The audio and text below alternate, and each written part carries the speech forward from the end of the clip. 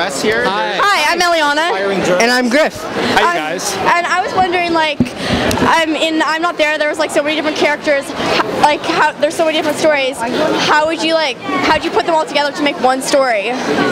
Well, that's uh, that's a subject of some uh, debate, I guess, whether it's one story or not, Yeah, and whether exactly. that's all right. You know, Uh-huh. that a person's life can actually have many different chapters with many different tones to them and Yeah. qualities to them, and that's something that I learned when I studied Dylan, and I really wanted to bring to the film. Uh-huh. Yeah. But uh, but I do think that there is a continuum, and there's the desire to continue to reinvent yourself, Yeah. and how much uh, freedom that ultimately gives you. You Yeah. know. Bob Dylan is such a big American icon. Did you feel any pressure? like in terms of praise, like wanting to really uh, like- not be critical of Yeah. him in a way. Yeah, sort of in trying getting. You know, I thought it was I was very lucky because I had a great relationship with Dylan's manager Jeff Rosen, who Okay. gave us all the rights through Dylan, and all, obviously.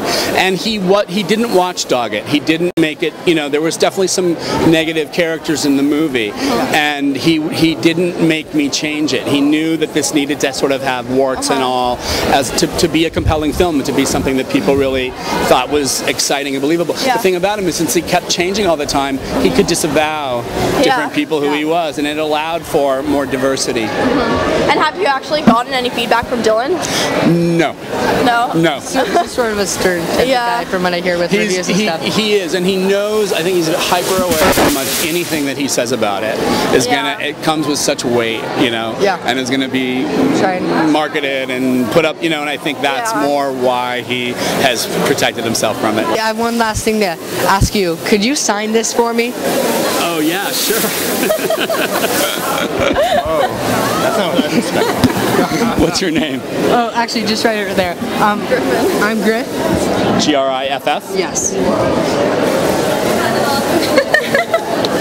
Yes.